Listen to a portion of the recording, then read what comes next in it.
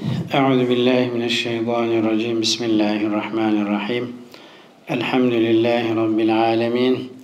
Ve salatu vesselamu ala rasulina Muhammedin ve ala alihi ve sahbihi ecmaîn. Rabbim bir araya gelişimizi, toplantımızı hayırlara vesile eylesin. İmanımızın artmasına, günahlarımızın silinmesine, Allah için olan sevgimizin ziyadeleşmesine, hizmetlerin kalitesine Rabbim vesile eylesin. Burada bir Kur'an hizmet mer- merkezinde bizleri topladığı gibi eksiksiz ve firesiz bir şekilde yarın Habib'in etrafında, dostların etrafında toplaşmayı, ilk cennete girenlerle girebilmeyi her birimize nasip eylesin. Annelerimize, babalarımıza, eş ve çocuklarımıza, dost ve yaranlarımıza da nasip eylesin. Kıymetli dostlar, Kur'an-ı Kerim ayeti kerimeleri 6000 küsur ayetten ibarettir. Her ayetinin bir antibiyotik olduğunu düşünelim. Bir hap olduğunu düşünelim. Bir hastalığı gideren, bir arızayı gideren, bir şifa kaynağı olduğunu düşünelim. Kur'an ayetlerinin okunan şekliyle feyiz ve bereketine nail olmuş oluruz. Ama onun manasını dinledikçe yaralarımızı temizler, hastalıklarımızı giderir ve şifaya kavuşmuş oluruz. Kur'an ayetlerinin manası gönlümüze, ahlakımıza, hayatımıza yerleştikçe. Okunan ayeti kelimeler Fussilet suresinin ayeti kerimeleridir. Fussilet suresinin 32. ayeti kerimesinden itibaren Hoca Efendi okudu. Cenab-ı Hak Celle ve Ala Hazretleri bu okunan ayeti kerimelerde biz müminlere, biz kullarına güzel tavsiyelerde bulunuyor. Birincisinde Estaizu billah وَمَنْ أَحْسَنُ قَوْلًا مِمَّنْ دَعَا إِلَى اللّٰهِ ve amile salihan ve kâle inneni minel müslimin. İnsanda en çok çalışan organlarında göz ve kulaktır. Kulaklar istesen de istemesen de sağdan soldan olup bitenleri duyar. Göz de uykunun dışında açık olunca görme işi devam eder. Ancak insanoğlunun cehenneme girmesinde en büyük etkisi olan göz değildir, kulak değildir, dildir. Bundan dolayıdır ki Peygamber Efendimiz sallallahu aleyhi ve sellem kim bana iki dudağının arasını ve iki bacağının arasını tekeffül ederse ben de ona cenneti tekeffül ederim. Ben iki dudağımın arasına malik olacağım. Rabbimin razı olmadığı şeyler söylemeyeceğim. İki bacağımın arasına malik olacağım. Şehvetimin esiri olmayacağım. Bu iki garantiyi bana kim verirse ben de ona cenneti garanti ederim diyor. İnsanları en çok cehenneme girmesine sebep olan insanın dilidir. Hadis-i şeriflerde Peygamber Efendimiz sallallahu aleyhi ve sellem insanoğlu bir söz söyler, bir kelime söyler, pek de önemsemez onu ama o bir cümle sebebiyle 70 sene cehennemin dibine doğru inme, indirilme cezasına çarpılır.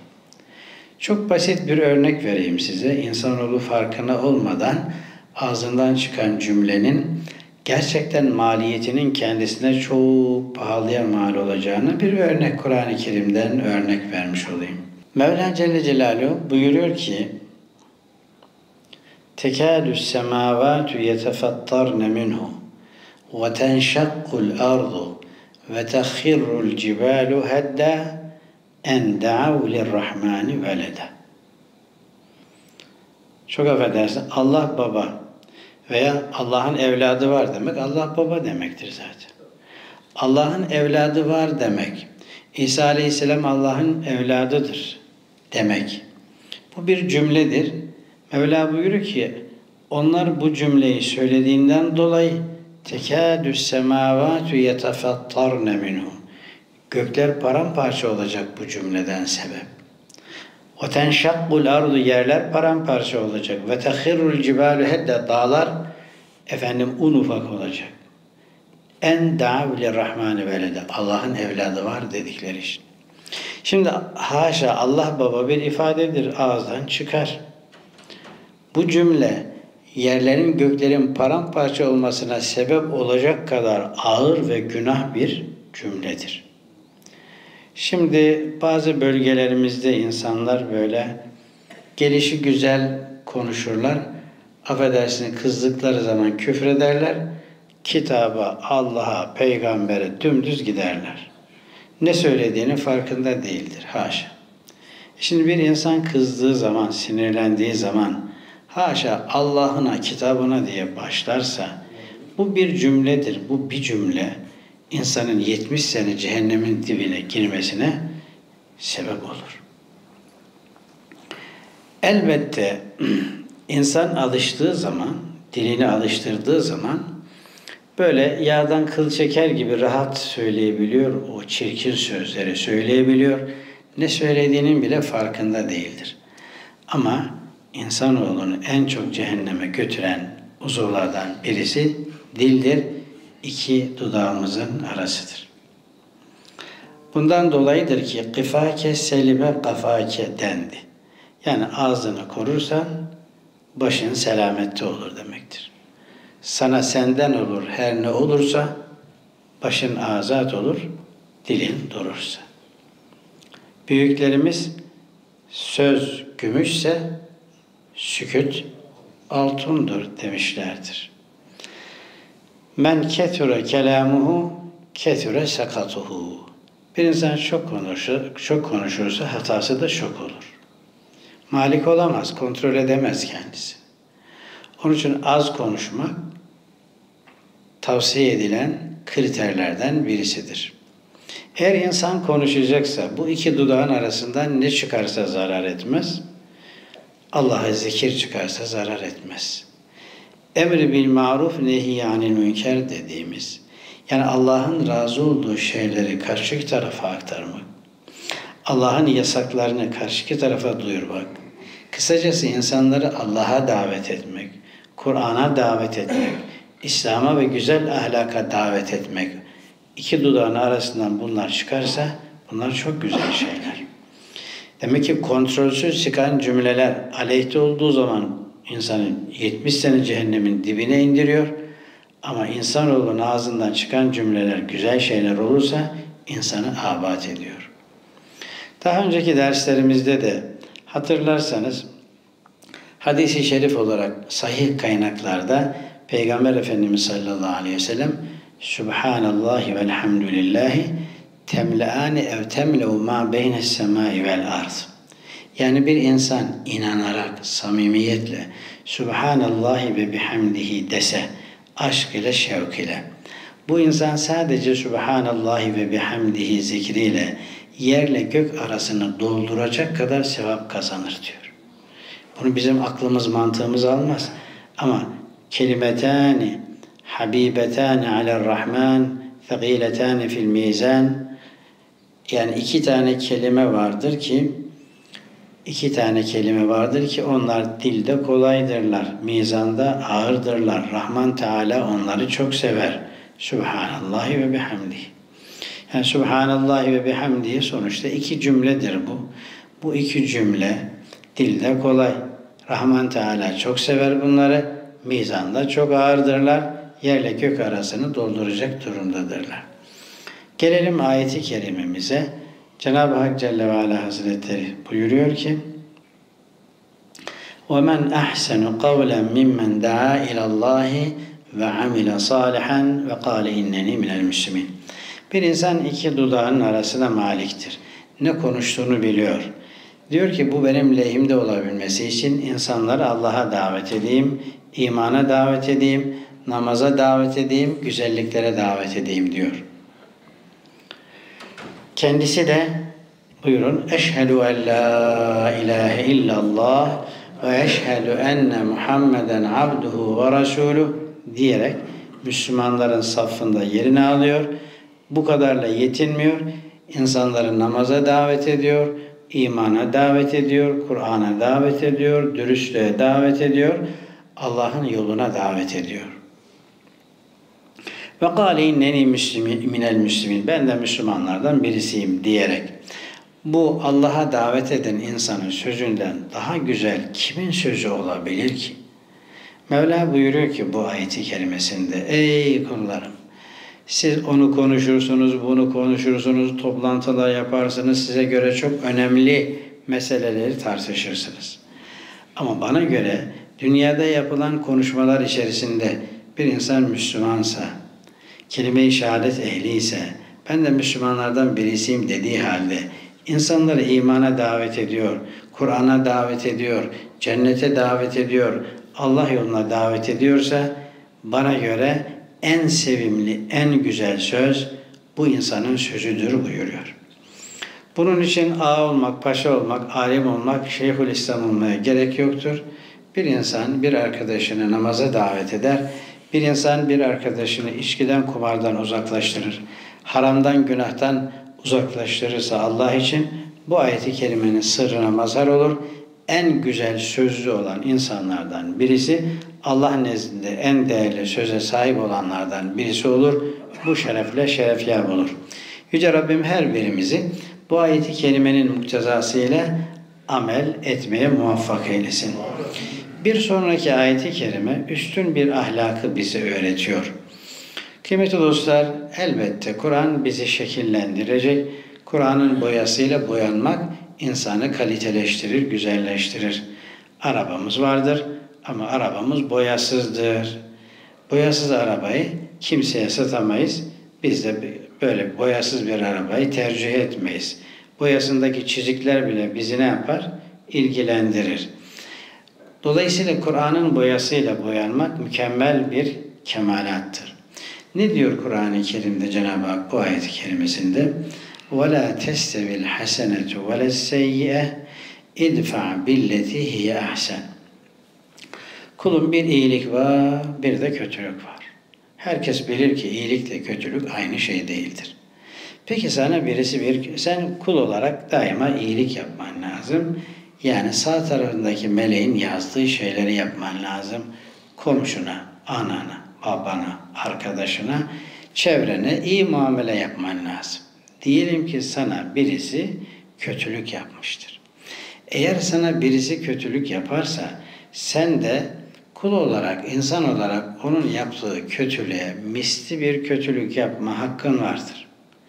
Fakat benim sana tavsiyem Mevla buyuruyor, sana yapılan kötülüğü iyilikle sav. Yani sana taş atana sen ekmek at diyor Allah Celle Celaluhu. İdfa billeti hiye ahsen. Sana kötülük yapana efendim daha güzel olan, en güzel olan şekilde karşılık ver. Yani kötülük yapana güzel bir şekilde gücünün yettiği kadar iyilik yap. Eğer sana kötülük yapana sen iyilik yaparsan ne olur? فَاِذَا الَّذ۪ي بَيْنَكَ وَبَيْنَهُ عَدَاوَةٌ كَأَنَّهُ وَلِيٌّ حَمِيمٌ Seninle aranızda düşmanlık olan kişi sen ona iyilik yaptığın takdirde sanki çok samimi bir dostun olur diyor ayet-i kerimede. Geçen de İstanbul dışında bir dostumuzu ziyarete gittik. Biz ziyarete gittiğimizi duyan çevredeki e, köylerden bazı kardeşlerimiz de bizim gideceğimiz yerde geldiler, buluştuk. Bir tanesi dedi ki hocam başımda sarık, sarık iki arkadaş. Başımızda sarık, sırtımızdaki cübbeyle gidiyoruz. İstanbul'un dışında bir yerde. Birisi bizi gördü. Affedersin, pislikler. Nereden geldiniz? Bağırarak, bize işaret ederek, pislikler. Nereden geldiniz buraya? Dediler dedi. Bir tanesi böyle söyledi. Ben de döndüm dedi, baktım ona.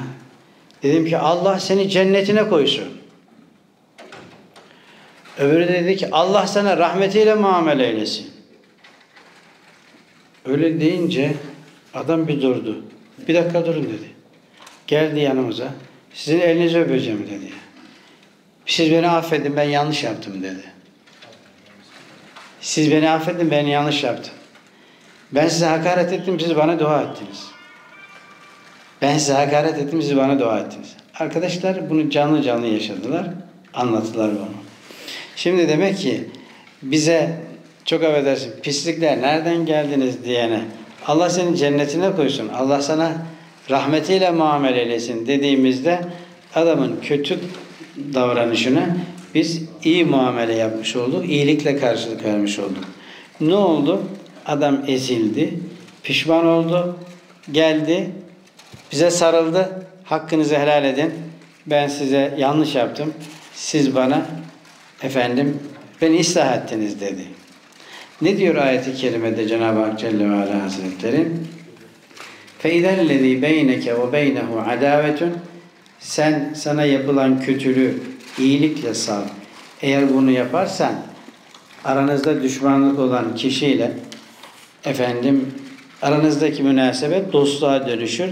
Hem de çok samimi bir dostluğa dönüşür diyor Allah Celle Celaluhu. Bunu söyledikten sonra Mevla Celle ve Ala Hazretleri şöyle buyuruyor. فَاِذَا الَّذ۪ي بَيْنَكَ وَبَيْنَهُ عَدَاوَةٌ كَأَنَّهُ وَلِيٌّ حَمِيمٌ Çok üstün bir ahlak bu. Sana kötülük yapana sen iyilik yapabilirsen çok üstün bir ahlak ama وَمَا يُلَقَّاهَا اِلَّا الَّذ۪ينَ صَبَرُوا Bunu herkes beceremez. Herkes bu şerefle şereflenemez. Ancak sabırlı insanlar bunu yapabilirler.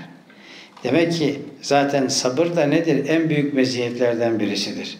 Bir insan eğer sabırlı insansa çok meziyetli bir insan demektir. O sabırlı insan bunu yapabilir. Ve ma yulaqaha illa zu hazzin azim. Ahirette nasibi büyük olanlar ancak bunu yapabilirler. Demek ki kötülüğe karşı kötülük yapma hakkı var mı insanda? Var. Ve ceza seyyiyetin seyyiyetün misluha. Sana birisi kötülük yaparsa dengi bir kötülük yapabilirsin. Femen afa kim af ederse ve aslaha arayı düzeltirse fe ecruhu alallah. Onun ücreti, mükafatı Allah'a aittir. Allah verirse tam verir. Arkadaşımızdan biz hakkımızı almaya kalkarsak diyelim ki 10 almış olacağız. Allah bize verirse 10 milyar verecek. Çok daha fazlasını vermiş olacak. O ayeti kerimede böyle söylüyor Buradaki ayet-i kerimede, okunan ayet-i kerimede, Fussilet'teki ayet-i kerimede Cenab-ı Hak Celle ve Ala Hazretleri وَمَا يُلَقَّاهَا اِلَّا الَّذ۪ينَ صَبَرُوا Bu üstün ahlakı, kötülüğe karşı iyilik yapma ahlakını ancak sabırlı olanlar gerçekleştirebilir. Bir de وَمَا يُلَقَّاهَا اِلَّا ذُو حَظٍ azim Ahirette nasibi büyük olanlar bunu gerçekleştirir. Ayet-i kerime ile bağlantılı olduğundan dolayı paylaşıyorum. Daha önce de dersimizde geçtiğini hatırlıyorum. Peygamber Efendimiz sallallahu aleyhi ve sellemin hanımı annemiz Hazreti Ayşe annemize, Hazreti Ebu Bekir Sıddık radıyallahu anh Efendimizin kerimesi, kızı Ayşe annemize bir ifk olayı, iftira olayı Nur suresinde anlatılır. Nur suresinin ikinci sayfasında bir sayfa olduğu gibi bu iftiradan bahseder. Yani birileri münafıklar. Birisi kalkıyor Hazreti Ayşe annemize zina iftirasında bulunuyor. Algı operasyonuyla bunu herkese inandırıyor. Herkese inandırınca Efendimiz sallallahu aleyhi ve sellem ne yapacağını şaşırıyor. Hazreti Ayşe annemizi babasının evine gönderiyor. Hazreti Ömer Efendimiz geliyor. Ya Resulallah sen bu kadına mahkum musun? Boşa bunu kurtul diyor. Efendimizin sallallahu aleyhi ve sellem üzüntüsü o kadar fazla ki yani adeta e, yüzü hiç gülmüyor. Hazreti Ebu Bekir Efendimiz kan ağlıyor. Sahabe-i kiramın büyükleri kan ağlıyor. Aradan uzun bir süre geçiyor. Hazreti Ayşe annemize anlat nedir bu durum? Gerçekten bu iftiranın aslı asları var mı diye sorduklarında ben kendimi tezkiye etmeyeceğim. Beni Allah tezkiye edecek. Ben dersem bana inanmayacaksınız der. Aradan belli bir süre geçince Cenab-ı Hak Celle Celaluhu bunun tamamen iftira olduğundan bahseden bir sayfelik Hazreti Ayşe annemizi tezkiye eden ayeti kerimeler gelir. Nur suresinin ikinci sayfasında bu ayeti kerimeler. Şimdi bu ayeti kerimeler gelince Hazreti Ebu Bekir Efendimiz kızıyla ilgili efendim rahatlıyor. Peygamber Efendimiz sallallahu aleyhi ve sellem eşiyle ilgili yüzde yüz rahatlıyor. Sahabe-i kiram rıdvanullahi aleyhim oh be Cenab-ı Hak tezkiye etti deyip rahatlıyorlar. İftira edenlere iftira cezası uygulanıyor. Bu arada iftira kervanına katılanlardan birisi de Ebu Bekir Sıddık radıyallahu anh Efendimizin yakınlarından birisi ki fakirdi, garibandı. Daha önce o güne kadar Ebu Bekir Sıddık radıyallahu anh Efendimiz ona çok yardım etmişti. Devamlı onu besliyordu. Fakirdir, garibandır diye hep buna iyilik yapardı. Besle kargayı, oysun gözünü derler ya. Bu adam da iftira kervanına katılanlardan oldu. Bu işin iftira olduğu anlaşılınca Ebu Bekir Efendimiz radıyallahu anh yemin etti. Dedi ki vallahi ben bundan sonra bu adama yardım etmeyeceğim dedi. Sen nasıl kalkarsın benim peygamberimin eşine, benim kızıma iftira edersin. İftira edenlerin kervanına katılırsın. Bundan sonra sana asla yardım etmeyeceğim diye yemin etti. Gerçekten biz Ebu Bekir Sıddık radıyallahu anh Efendimizin yerine olsak sadece yardımı kesmezdik. Tekme tokat adamı da perişan ederdik. Hele bir Karadeniz'in eline düşse, Erdal'ın eline düşse ne yapardı bilmiyorum. Şimdi tabiri caizse bir kuş sütü eksik her türlü yardımı ve desteği verdiği adam ve akrabası kızının ve Efendimiz sallallahu aleyhi ve eşine yapılan iftira kervanına katılanlardan birisi oluyor. Kenarda bekle dur bakalım kardeşim yani. Ebu Bekir Efendimiz radıyallahu anh yemin ediyor. Diyor ki ben bundan sonra sana yardım etmeyeceğim diyor. Sonra ayeti kerime geliyor. Ayeti kerimede şöyle. Estağfirullah. وَلَا يَأْتَلِ اُلُوا الْفَضْلِ مِنْكُمْ وَالسَّعَةِ اَنْ يُؤْتُوا اُلُوا الْقُرْبَ Sizden fazilet sahibi insanlar, imkan sahibi olan insanlar, yakınlarına yardım etmeyeceklerine dair yemin etmesinler.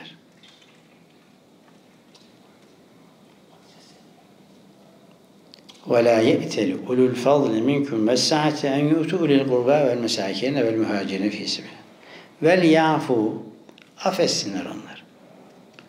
Vel yasfahu görmezlikten gelsinler. Çok zor bir iş. Ama affettim. Hadi görmezlikten geldim. Demek kolay da bu içinden silmek çok zor değil mi? Ayet-i kerime şöyle bitiyor arkadaşlar. Ela tuhibbune en yağfirallahu leküm. Allahu Teala'nın sizi bağışlamasını sevmez misiniz? Yani siz size bu yanlışı yapanları eğer affederseniz, görmezlikten gelirseniz Allahu Teala'nın sizi seveceği garantisi. Ela tuhibbun en yağfirallahu. Allahu Teala'nın sizin günahlarınızı bağışlayacağını, sizin amel defterinizi sıfır gıcır gıcır yapacağını sevmez misin? Bu garanti var işin içerisinde. Böyle deyince Hazreti Ebu Bekir Efendimiz ağladı, gözyaşı döktü. Ben Rabbimin beni bağışlamasını severim, severim, severim, severim dedi ve yemininin kefaretini ödedi. O insana eskisinden daha fazla yardım etti. Şimdi kötülüğe iyilikle karşılık vermenin en cazip örneklerinden birisi Kur'an destekli, ayet destekli Nur suresindeki bu olaydır kıymetli dostlar. Peki ayeti kelimeleri toparlayayım ben. Mevla Celle ve Ala Hazretleri buyuruyor ki iyilikle kötülük eşit değildir.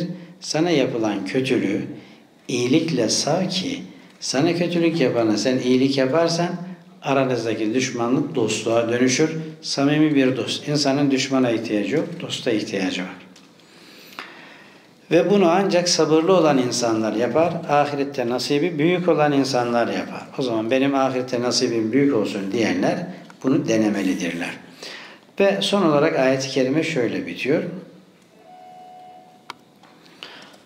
وَاِمَّا يَنْزَغَنَّكَ مِنَ الشَّيْطَانِ نَزْغٌ Eğer şeytan kalbine bir vesvese verirse, Hele dur bakalım. Birden dalma bu işlere.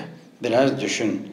Bir vesvese verirse sana ilahi e, talimat varken Cenab-ı Hak böyle yönlendirme yaparken şeytan kalbine bir vesvese verir. Farklı tarafa seni yönlendirmek isterse Festa'id billah şerrinden Allah'a sığın. Euzu billahi mineşşeytanirracim de innehu huves semi'ul alim. Şüphesiz Allah Celle Celaluhu her şeyi işiten, her şeyi hakkıyla bilendir buyuruyor. Demek ki kıymetli dostlar şeytan bize vesvese verir. Kötülüğü de vesvese verir. Kötülük yapan insana daha fazla kötülük yapmamızı da vesvese verir. Ama biz şeytanın vesvesesini fark ettiğimiz zaman yapmamız gereken nedir? Euzu billahi mineşşeytanirracim. Racim olan şeytanın şerrinden Allah'a sığınırım demektir. Şöyle özetleyeyim. Gerçekten derse başlarken dedim ki Kur'an-ı Kerim'in her ayeti tabiri caizse bir haptır, bir antibiyotiktir. Ve her birisi bir yaraya merhemdir. Mesela bu okuduğumuz ayeti kerimeler hem konuşurken nelere dikkat etmemiz gerektiğini, konuşma mecramızın hangi tarafta olması gerektiğini öğretmiş oldu. Hem de bize iyilik, kötülük yapanlara karşı tavrımızın ne olması gerektiğini öğretmiş oldu. Ve bu güzel yolda yürürken kalbimize vesvese girdiğinde bu vesveseden kurtulmak için kendi gücümüzün yetmeyeceğini, Allahu Teala'ya sığınmamız gerektiğini, Euzu billahi mineşşeytanirracim kovulmuş olan şeytanın şerrinden Allah'a sığınırım diyerek şeytanın şerrinden Allah'a sığınmamız gerektiğini. Eğer biz Euzu billahi mineşşeytanirracim dersek innehu huves semiul alim. Allah her şeyi hakkıyla işiten, her şeyi hakkıyla bilendir. E, müjdesiyle beraber de yani siz bana sığındığınız zaman ben sizi korurum, sizi muhafaza ederim müjdesini bize vermiş oluyor. Kıymetli dostlar, bu ayeti kerime ve Kur'an-ı Kerim'de buna benzer Festa'id billah meali şey, şeklinde ayeti kerimeler var.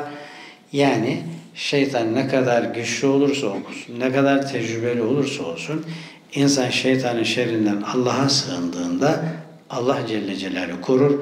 Eğer şeytan elindeki imkanları bizim üzerimize icra edecek olsaydı hiçbirimiz bir tarafa gidemezdik. Hiçbir defa camiye gidemezdik. Hiçbir zaman oruç tutamazdık. Ama şeytanın şerrinden Allah'a sığınıyoruz. Allah da bizi koruyor ve böylece istikamet üzere yürüyebiliyoruz. Cennete doğru koşabiliyoruz.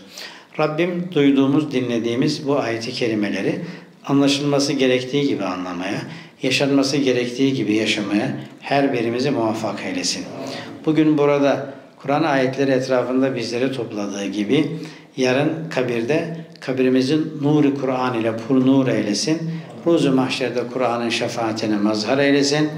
Ehli Kur'an olarak cennete haşr olmayı, Aleyhisselatü Vesselam Efendimizin sancağı altında toplaşmayı Rabbim her birimize nasip etsin diyorum. Aleyhissalatü Vesselam Efendimizin mübarek ruhu için, her birimizin bütün geçmişlerimizin ervahı için, bu müesseselerin yapılmasında ve devamında emeği geçip ahirete göçmüş olan Ashab-ı Hayrat'ın ruhları için, Allah rızası için El Fatiha.